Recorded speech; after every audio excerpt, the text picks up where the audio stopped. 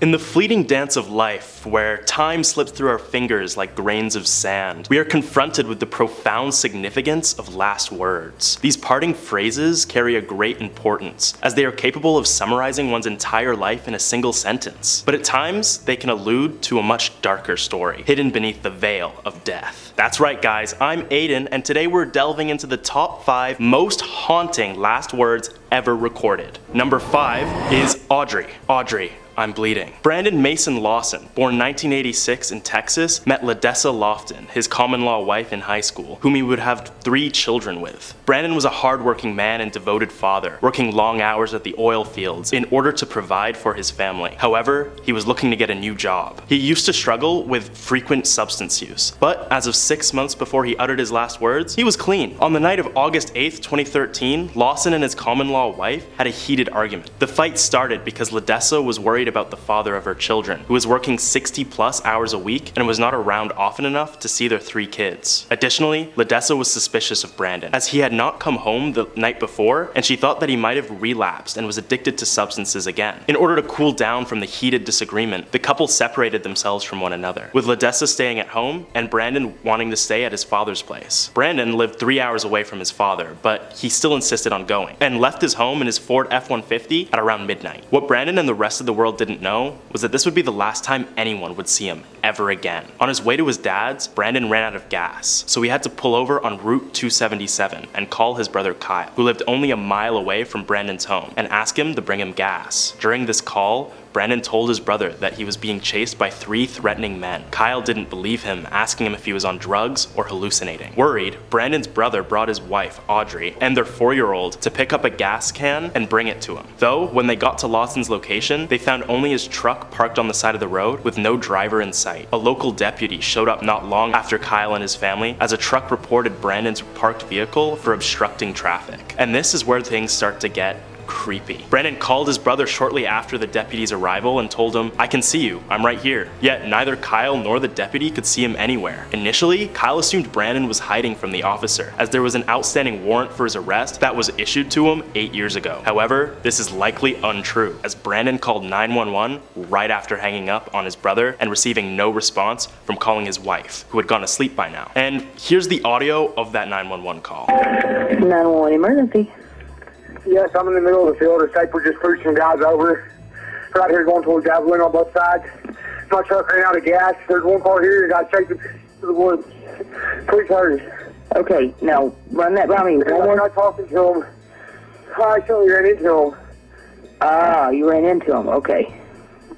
After this, you can hear other voices in the background, telling Brandon to get up, and then the sound of shots. The call ended with Brandon faintly saying, help me. After making his 911 call, Brandon called his brother five times and was faced with no response. He then called his brother's wife, Audrey, and said, Audrey, Audrey, I'm bleeding. A chilling cry for help that ultimately went unanswered. An act is Brandon's last known words. Any calls made to Brandon's phone after this went directly to voicemail, including a call back from the 911 dispatcher he spoke with. Brandon was never seen or heard from again after this, even after consistent searches around the area from law enforcement. The mystery of his vanishing remains unsolved to this day, with not a single shred of evidence being found besides Lawson's abandoned car. We can only fear the worst when it comes to the true fate of Brandon Lawson, and hope that someday he will return to his family alive and well. Next up at number four, I'm putting dinner on. California resident William Sierzan was last seen on January 26, 2017 in Santa Clarita Valley where he resided. On that day, he left his home in the morning and seemingly went about his normal daily routine. However, as the day progressed, Will would suddenly vanish. And at about 4.30 p.m., William called his wife Linda and told her that he was putting dinner on, what he wouldn't know to be his last words ever. The 58-year-old man was in a chipper mood that day, especially when he finished cooking a rotisserie chicken for his beloved wife. But when Linda returned home less than two hours after his last call to her, she found the house empty, with the chicken cooked and the oven turned off. Her husband's wallet, keys, coat, and all his personal effects were still in the house, with no credit cards or money missing from the wallet. Even the couple's dog was in the house, but William was nowhere to be found. To this day, William Sierzan remains missing, despite the many search efforts of many locals and police. In December of 2018, a human skull was found just down the street of the Sierzan household, with police hopeful to identify the skull and discover a cause of death.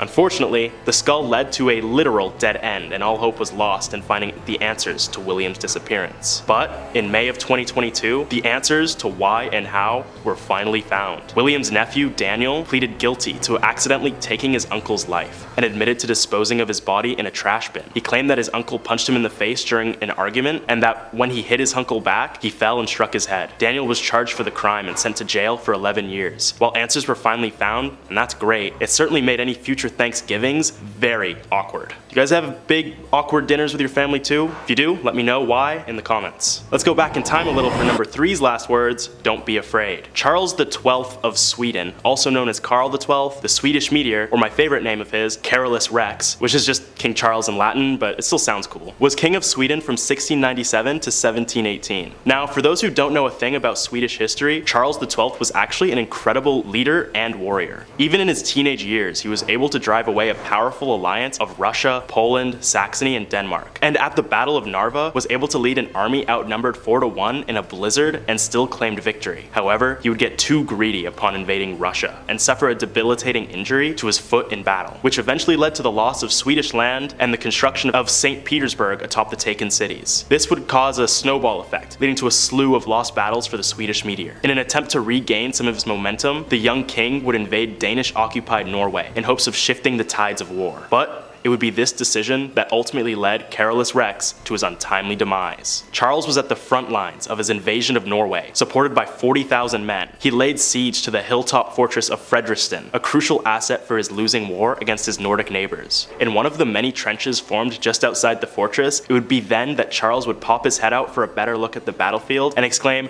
Don't be afraid! to his Swedish comrades. And in almost an instant, Charles would drop to the ground, with a projectile going right through the distinguished king's head.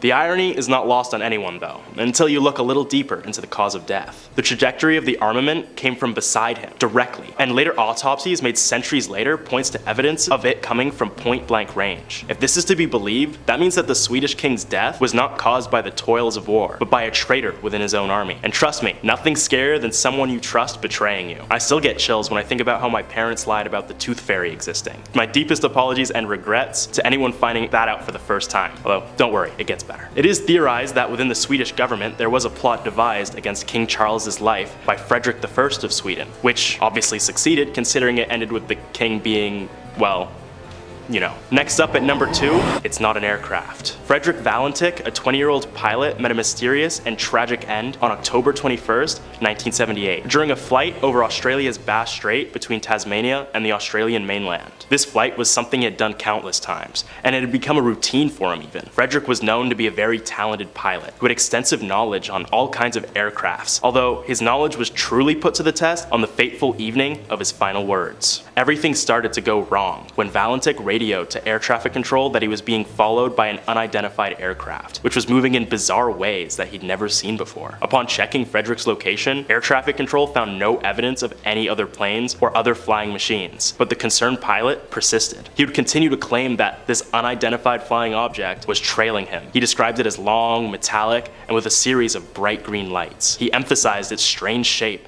and how it was moving at impossibly fast speeds. Air traffic control tried reasoning with Fred, telling him that it could be a military aircraft or a commercial flight. But even with his vast knowledge of aircrafts, Fred would continue to claim that this was something he'd never seen before in his entire life. Getting more and more frightful, Valentich reported that the UFO was now hovering above him, orbiting his position. When air traffic control asked for further explanation, Frederick would only utter, it's not an aircraft, and would then cut communications after a harsh metal scraping noise was heard. Upon looking for a crashed aircraft or any evidence of the Australian pilot's claims, they could not be found. Frederick's disappearance quickly became a famous story of alien encounters, and with the recent congressional hearing confirming the existence of UFOs on Earth, it has become quite plausible. If you've got a fear of flying, congrats. I've just added getting your entire plane sucked up and destroyed by a UFO to your list of things to worry about while on an airplane.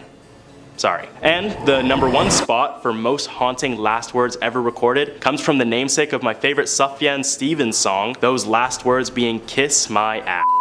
Now, you might be wondering why those are the most haunting last words. And if you didn't get it from my niche alternative folk music hint, they come from the infamous John Wayne Gacy. Gacy was one of America's most notorious killers, responsible for the heinous deaths of at least 33 young men in the 1970s. Gacy was known for essaying and taking the lives of young men, something he would do regularly after getting out of prison for taking advantage of one of his coworkers. He would pick up random individuals off the street or bus stations, promising employment, money, or just to share some drinks. Those who accepted his offer would be taken back to his house, where he would do unspeakable things to them.